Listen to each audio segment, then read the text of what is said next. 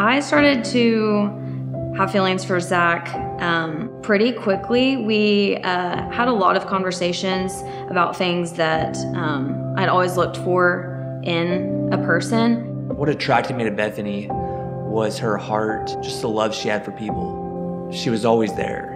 You know, any anytime I had any any shows or concerts, she would show up to hang out and just, you know, spend time with me. So there were a lot of things that I was looking for in a husband that Zach um, carried. I did have a son. Um, when Zach and I started talking about having a relationship, I had him when I was uh, 18 years old. Over the course of um, a couple years of being in and out of court and stuff like that, um, his dad just kind of decided to not want to have to deal with any of the court stuff or any of that anymore.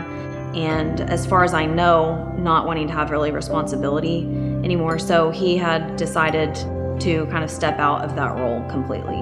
Me and Eli's relationship was was awesome at the start, like almost an instant bond. You know, from the minute like, we met. I totally felt like Zach was supposed to step into the role of being Elijah's dad. Did I feel like I was that person? Um, possibly. We had talked a little bit about you know getting married and you know starting a family, but I had uh, you know several things that that I wanted to get done Zach's plans pretty much were the main thing that were standing in the way of us getting married.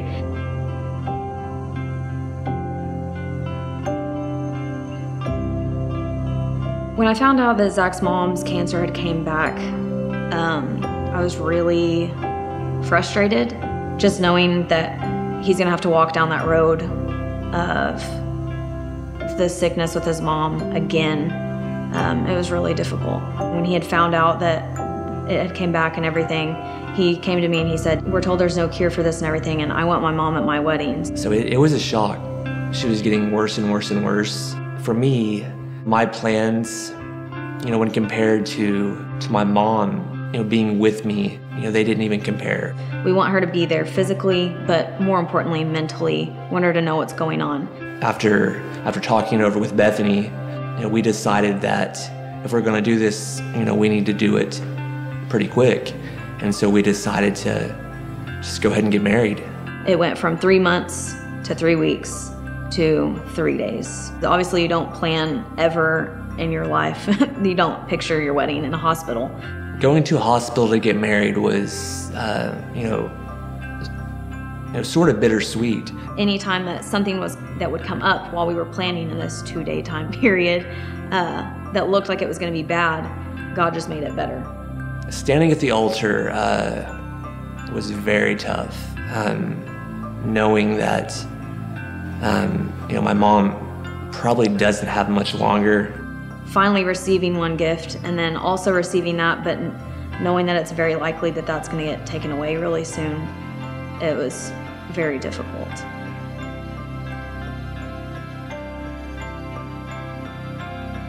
I feel like God answered a lot of prayers for Eli during that time. Um, everything that he had been missing in a dad, you know, um, I really feel like he delivered through Zach. It like instantly changed. It was no longer Zach, it was no longer dad, but he just immediately started calling him daddy. And that was huge to me. God has definitely taken me into a whole other level. I mean, super quick from going to, you know, from a life of, of being single to now married and a kid. Um, the joy, um, you know, of it all has been just so cool. God answered all of my prayers in Zach for a husband and beyond, honestly, what I even thought for myself. God has been shaping me, um, you know, for the role that I'm, you know, currently in now, you know, as being a dad, you know, as being married, you know, as being a husband.